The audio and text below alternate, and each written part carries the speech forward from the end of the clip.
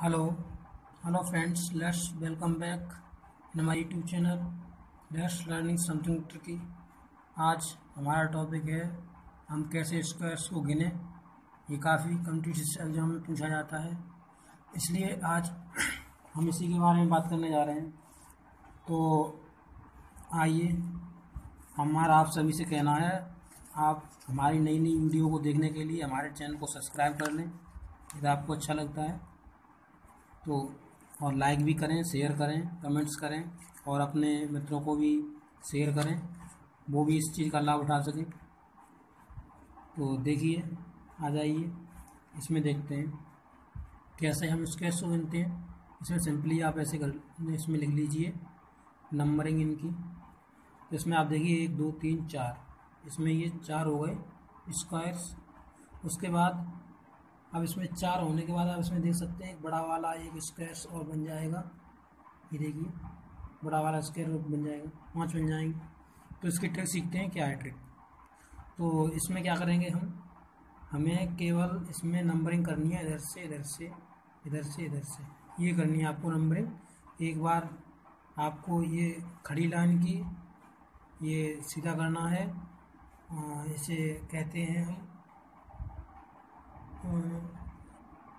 इसे हम देख सकते हैं कि इसे हम अभी कह सकते हैं। और ये आपकी हो गई ऊर्ध्वाधर रेखा मतलब खड़ी है रेखा, इसे ऊर्ध्वाधर रेखा कहेंगे। वर्टिकली लाइन इंग्लिश में बोले तो वर्टिकली लाइन होती है और ये ओरिजेंटल लाइन होती है जो लेटी हुई होती है। तो इसमें आप ये देख लीजिए। उसके बाद आपको क्या करना है, इसका इससे मिलान कर देना है। इसका, अब ये एक रह गया, ये का इसका इसका हो ठीक? इसमें आपको देखना है वन का वन में गुणा प्लस टू का टू में गुणा। अब बराबर में आपका आ जाएगा कितना होगा ट्रेन तो one plus four equal to आपका हो गया स्क्वायर है, ये स्क्वायर सॉरी ये स्क्वायर आपके हो गए, ये पाँच स्क्वायर हो गए। आप मिल भी सकते हैं इसमें, ठीक? तो आइए अब नेक्स्ट में देखते हैं। इसमें देख लीजिए आप, ये रहा, आपको दिखाई दे रहा होगा। तो इसमें भी आपको क्या करनी है? नंबरिंग करनी है, इस प्रकार से। इस प्रकार से इधर करनी है। अब इसमें आपको इस तरह से इसका मिलान कर देना आप देख लीजिए कैसे कर रहे हैं इस प्रकार। और इसी प्रकार आपको क्या करना है? One cross one plus two cross two plus three cross three plus four cross four. ठीक? अब इसको आपको सही करके लिख देना है। One plus four plus nine plus सोलह। इसमें देखिए, पच्चीस और पच्चीस और ये पाँच हो गया तो ये तीस स्क्वायर हो गया, इसमें तीस स्क्वायर हो गए। तो आपने देखा कितनी जल्दी हम इसे गिन गिन पाए। अभी तो आप इसमें देख लीजिए, जितनी इसमें खड़ी लाइन है, उतनी इसमें लेटी हुई लाइन है। जितनी इसमें ये वर्टिकली है उतनी इसमें हॉरिजेंटल है ये, ठीक है? तो इसमें अभी आपने इसका इसके, अब इसमें डिफरेंट भी हो सकता है, जैसे नेक्स्ट है ये देखिए जैसे ये आ गया। इसमें देख लीजिए आप। इसमें आप नंबरिंग करिए, एक, दो, तीन, चार, पाँच।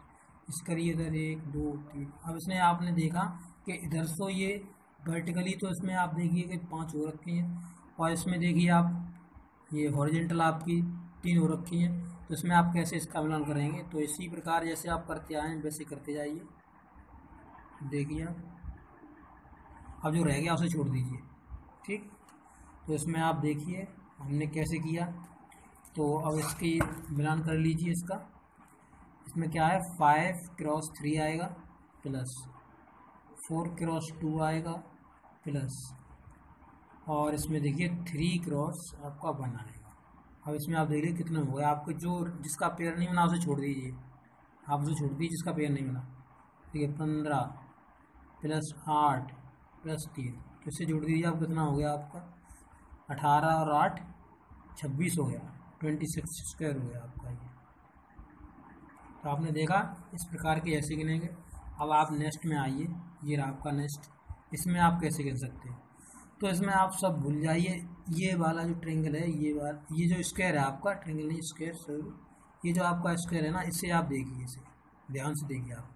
इसमें एक, दो, तीन, चार चार स्क्वायर हो गए, और ये पूरा वाला आप देख लीजिए इधर से कितना हो गया इसमें? पाँच हो गया। ठीक? पाँच हो गया। अब इसी प्रकार आप इस इस भीतर वाले को भूल जाइए। अब इसमें आप देखो, ये ये भी उसी तरह भर रहा है तो इसमें भी पाँच होगा। इसमें भी पाँच होगा, आप देख लीजिए, एक, दो, तीन, चार, ऐसे करके इसमें भी पाँच होगा। ठीक है?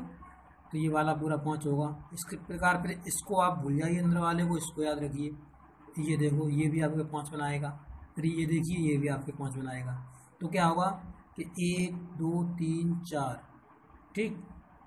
अब इसमें आप देख सकते हैं, अब इसमें क्या आप देखते हैं, इसके पाँच हो गए, पाँच, प्लस फिर इसके पाँच हो गए, पाँच, प्लस फिर इसके पाँच हो गए देखिए, ठीक है, यहाँ तक आ गए, फिर प्लस इसके पाँच हो गए, आपने देखा, ठीक है तो अब ये आप जोड़ दीजिए कितने हो गए तो पाँच, दस, पंद्रह, बीस तो बीस स्क्वायर हो गए आपके तो आपने देखा, इन जो मैंने ये आपको बताए हैं, इससे आप किसी भी प्रकार के स्क्वेयर्स को गिन सकते हैं बहुत ही जल्दी। तो ये हमारी वीडियो देखने के लिए धन्यवाद। और आपको अगर अच्छी लगी हो तो आप इसे ज़रूर शेयर करें और लाइक करें और हमारे चैनल को सब्सक्राइब करें। धन्यवाद।